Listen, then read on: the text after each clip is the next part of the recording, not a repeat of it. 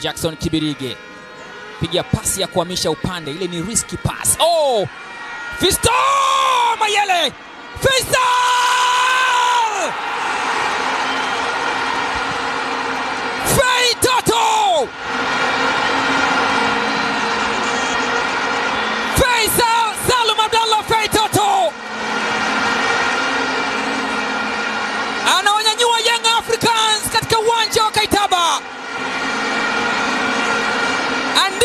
Katika rekodi zako na kumbukumbu, bao la kwanza la Young Africans katika TPL msimu wa 2021-2022 limefungwa na kiungo fundi kutoka Zanzibar, Faisal Salum Abdallah Faitoto alipiga pasi ya hatari.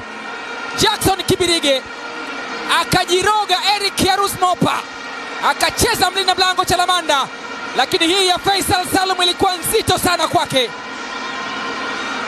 Wamejitahidi sana wana Super Nkurukumbi, lakini ni kwa dakika ishirini na nne pekee. Faisal Salum Abdallah Fei Toto anawaambia wana Super Nkurukumbi, nyoka afunikwe kwa tenga.